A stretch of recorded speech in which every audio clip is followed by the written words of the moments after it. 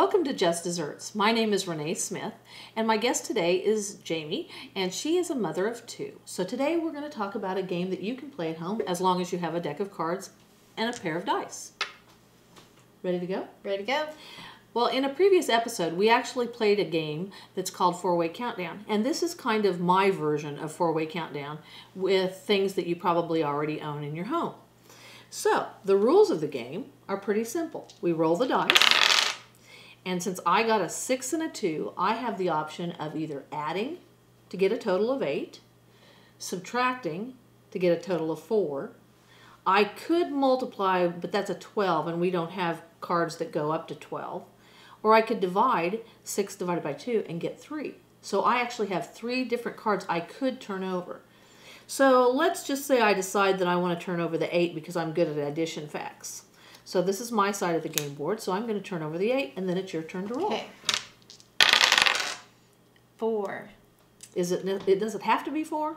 How did you get 4? Initially, my instinct was four because I multiplied. Oh, But if I subtracted, I'd get zero. That's not going to get me very far. No. If I divide, I'll get one. uh-huh. So And what if you added? then I'm back at four. You're back at four, so you only could turn over a four or a one. And there's some strategy involved for kids there because there might be some of these cards that are more difficult to get with the dice than others. So which one do you want to turn over? Oh, would you like to turn that one over? This is my side of the game board. You're helping me. I like that.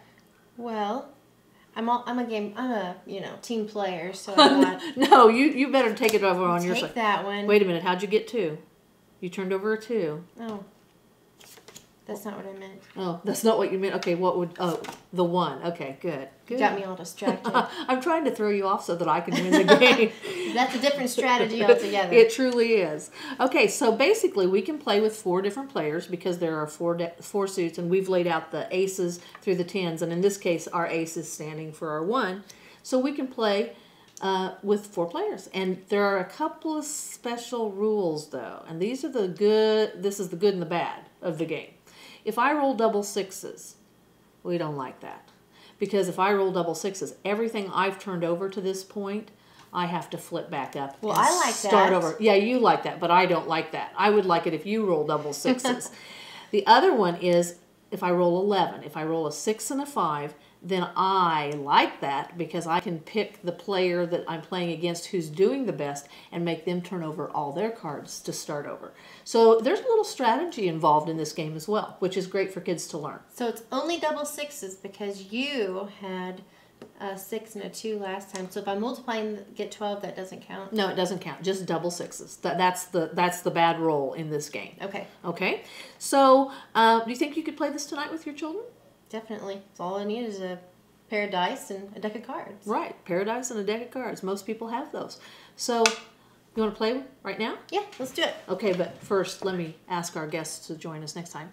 Please join us next time for another strategy game for your children.